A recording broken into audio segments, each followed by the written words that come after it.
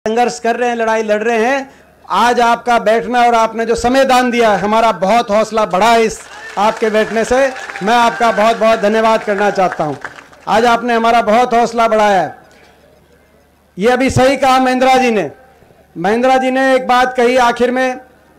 उन्होंने सही कहा कि भाई, जो घटनाक्रम तेज़ी से बढ़ रहे हैं प्रदेश में, ये आकलन किया जा रहा है कि जल्दी चुनाव हो सकते हैं। जब पीछे गृह मंत्री अमित शाह आए थे, हरियाणा में दो दिन का प्रोग्राम था, उनका पहला दिन तो उनका रद्द हो गया था, क्योंकि गोहाना की रैली में लोग कम गए थे। आपको याद होगा। टीवी पे बीजेपी ने खबर दी कि ठंड ज़्यादा थी। ये फरवरी का महीना था। ठंड ज़्यादा तो जनवरी में थी, जब हमारी यात्रा चल रही थी, भारत जोड़ो यात्रा, जब पानीपत में रैली करी थी, तब जनवरी में ज़्यादा ठंड होती है कि फरवरी में। लेकिन बहरहाल, और वो जाते जाते मगर गृह मंत्री जी कह के गए। कि बीजेपी वालों तैयार रहना, लोकसभा के साथ इस बार विधानसभा चुनाव कराए जा सकते हैं। भाई अनिल धनखड़ जी, बहुत से साथी जिनका नाम नहीं भी लिया गया तो साथ चुनाव कराए जा सकते हैं। जब ये कहा तो उससे अंदाज़ा लगाया जा सकता है कि उनका आकलन है, बीजेपी का आकलन है, कि अगर चलेगी सरकार किसी तरीके से तो भाई ज़्यादा ज़्यादा लोकसभा चुनाव तक चल सकती है। उसके बाद जो विधायक हैं, ये काबू के बाहर हो जाएँगे। जेजेपी के विधायक और बीजेपी के विधायक डाक मारने तैयार हैं और काबू के बाहर हो जाएँगे। तो चल तो यानी कि उन्होंने कहा एक साल के बाद सात चुनाव। तो ज़्यादा से ज़्यादा ग्यारह महीने। एक साल हो, ग्यारह महीने के बाद लोकसभा चुनाव। प्रजातंत्र में हमारे संविधान के अनुसार पाँच साल में चुनाव होता है। पहले चार साल सरकार के काम करने के होते हैं और आखिरी एक साल लोगों का मन विचारने का, सोचने का और फैसला करने का। उसके बाद वोट की चोट से लोग आने वाले भविष्य की दिशा का निर्धारण करते हैं। अब हम उस आखिरी एक साल में प्रवेश कर चुके हैं। आपको पता है, बताने की ज़रूरत नहीं, सरकार की क्या कार्यशैली रही जितना मैं जानता हूँ, उससे ज़्यादा भुगत भोगी आप हो। जो सरकार 2014 में बड़े बहुमत के साथ खट्टर सरकार को लोगों ने हरियाणा के सिंहासन पे चंडीगढ़ में बैठाने का काम किया था, जो हरियाणा 2014 से पहले जो कांग्रेस पार्टी की सरकार थी 10 साल हरियाणा में रही, उस समय देश में विकास के मामले में नंबर एक पे जो हरियाणा प्रदेश गिना जाता था, प्रति व्यक्ति आय में नंबर एक थे, हम प्रति व्यक्ति निवेश में नंबर एक थे। आपस में भाईचारा 10 साल, आपस में भाईचारे के साथ, अमन चैन के साथ, खुशहाली की तरफ़ भाईचारा हरियाणा के भाईचारे की मिसाल दी जाती थी। कहीं कोई आपसी मतभेद, कहीं पैदा नहीं, दस साल में गरीब की कल्याणकारी योजनाओं में सबसे ज़्यादा बुढ़ापा पेंशन हरियाणा में थी। सौ गज के प्लॉट का फैसला था। प्रियदर्शनी आवास योजना के मकान का फैसला था। किसान के हकों के फैसले में चाहे वो किसान के 1600 करोड़ बिजली के बिलों की माफ़ी का फैसला हो, चाहे किसान के 2200 करोड़ के कोऑपरेटिव के माफ़ी का फैसला हो, चाहे वो किसान के फ़सल के भाव की बात हो। किसान की चाहे वो खिलाड़ियों के मान सम्मान की बात हो। खिला खिलाड़ियों के मान सम्मान में देश में हरियाणा का नंबर आता था, देश में ज़िक्र होता था। आज नौ साल की इस खट्टर सरकार के बाद, वही हरियाणा विकास में तो उन्नीसवें पायदान पे पहुँच गया, विकास की पटरी से उतर गया हरियाणा। लेकिन नंबर एक पे अगर पहुँचा तो बेरोजगारी में दिल्ली के तीन तरफ़ हरियाणा बैठा है, देश में रोज़गार देने वाला प्रदेश होना चाहिए हमारा। लेकिन नौ साल की इस खट्टर सरकार की कार्यशैली के बाद बेरोजगारी में नंबर एक, और ये हम नहीं कह रहे, ये भारत सरकार कह रही है, नीति आयोग कह रहा है centre of monitoring Indian economy कह रही है, और लगातार, हर महीने वो रिपोर्ट आती है, और हर महीने उस रिपोर्ट में आप नंबर एक पे अगर पढ़ोगे, हरियाणा का नाम आता है, हर घर में एक नौजवान बेरोजगार, बेरोजगारों की फौज खड़ी कर दी, ना तो कोई औद्योगिक क्षेत्र लगा ना कोई थर्मल का कारखाना लगा कोई बड़ा आईएमटी लगा क्योंकि मुख्यमंत्री जी ने कहा कि एक्वायर नहीं करेंगे ज़मीन। नौ साल तक एक इंडस्ट्रियल औद्योगिक क्षेत्र नहीं लगा हरियाणा के अंदर। ना प्राइवेट के अंदर नो रोज़गार ना उस अनुपात में सरकारी नौक, नौकरी। सरकारी नौकरी जितनी मिली उनमें से आधे से ज़्यादा भर्ती घोटालों की भेंट चढ़ गई। आधी नौकरियाँ समाप्त कर दी प्राइवेटाइजेशन केंद्र से लेकर हरियाणा तक रेलवे से लेकर एयरपोर्ट पोर्ट तक।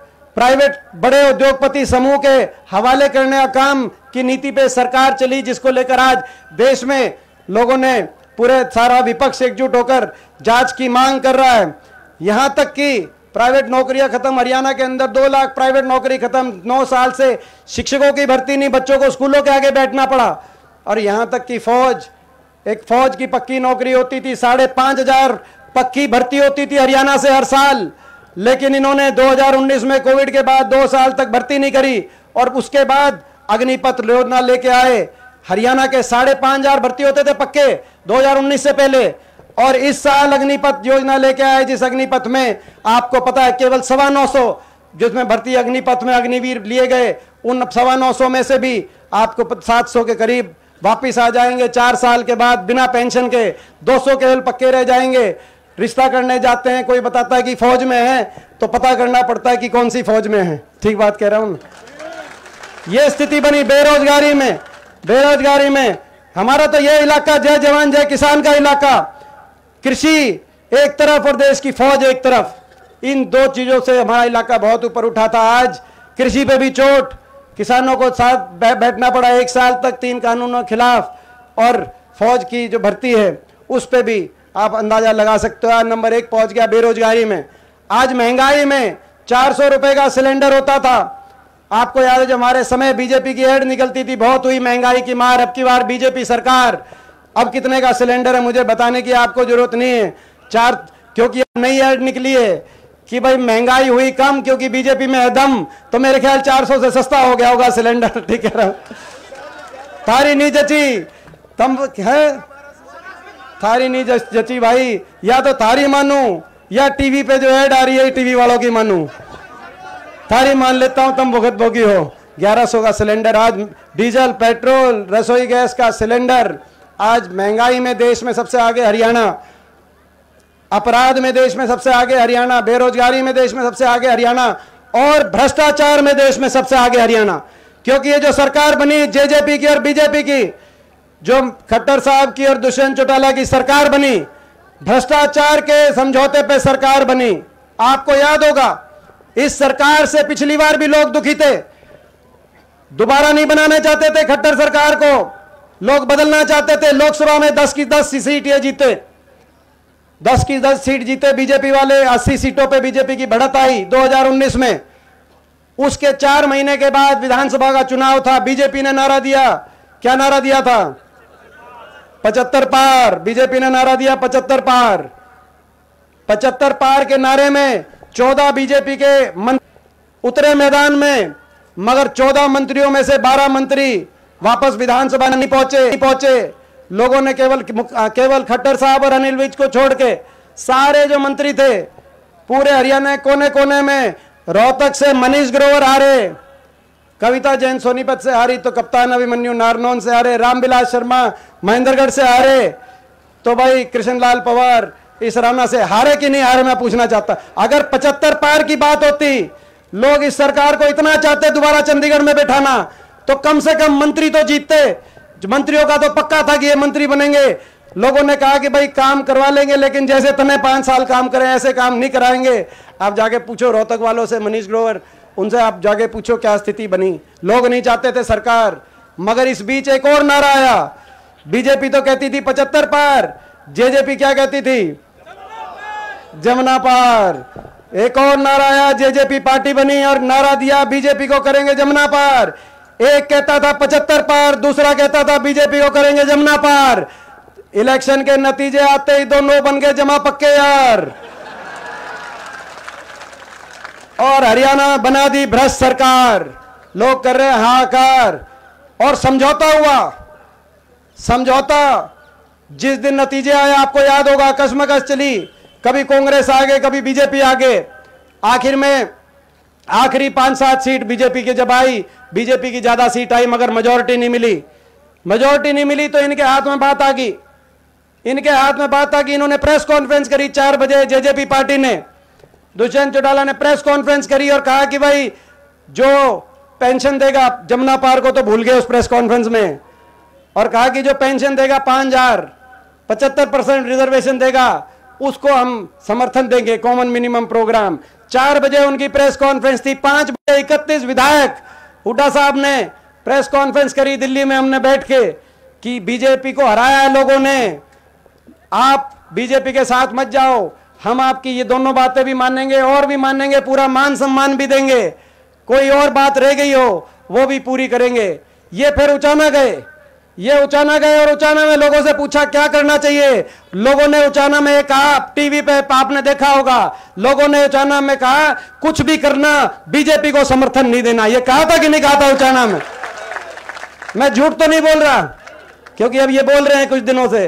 तो भी अचाना में लोगों ने कहा, कुछ भी करना बीजेपी को समर्थन मत देना। उचाना से गाड़ी चली।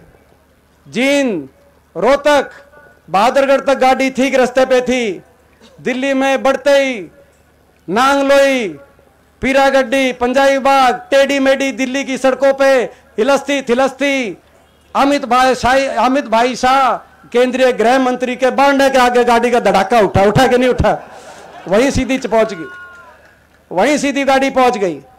और जाके समर्थन डिक्लेयर कर दिया। प्रेस कॉन्फ्रेंस करी। तो हम तो इंतज़ार कर रहे थे कि आएँगे।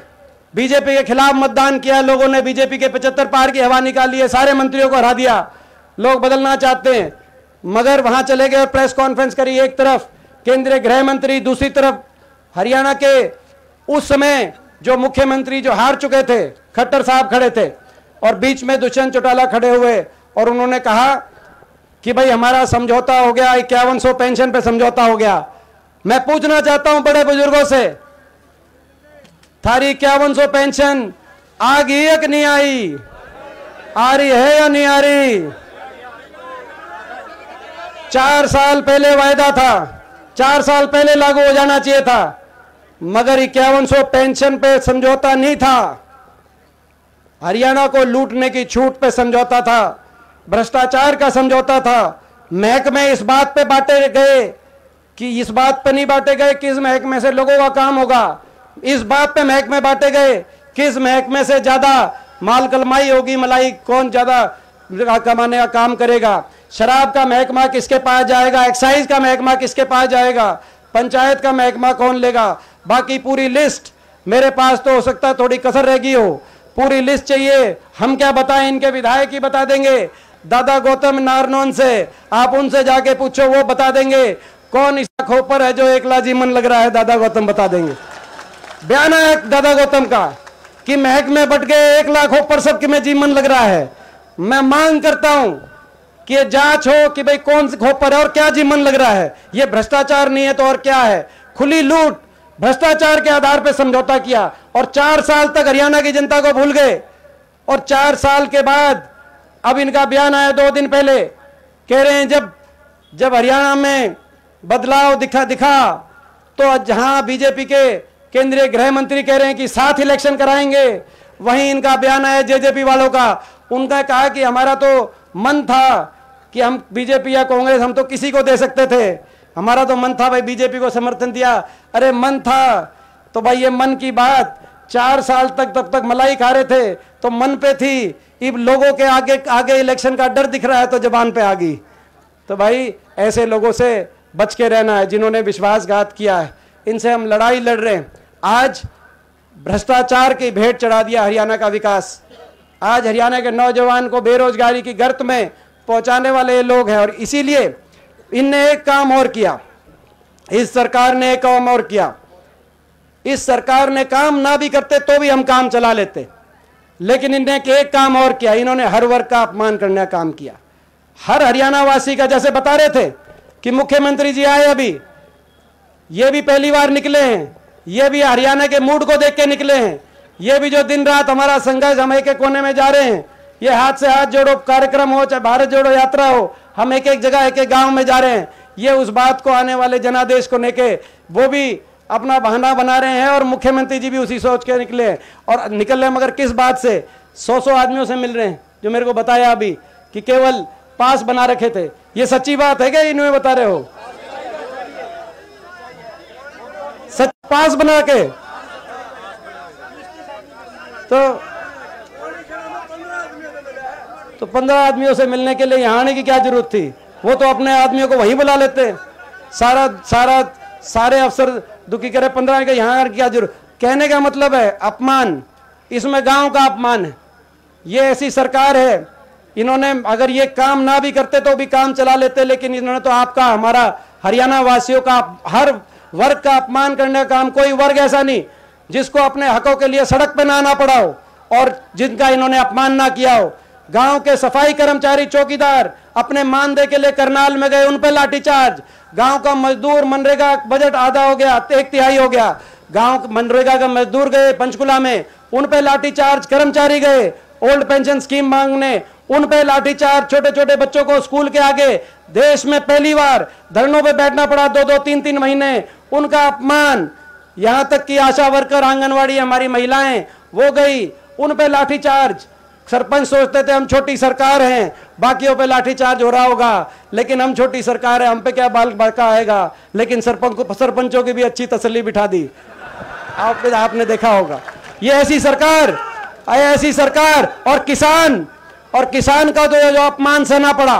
एक साल तक किसान बैठा रहा सड़क पे। साढ़े सात सौ किसानों के घरों के चिराग बुझ गए। हर रोज इन धरनों से शव आते थे किसानों के।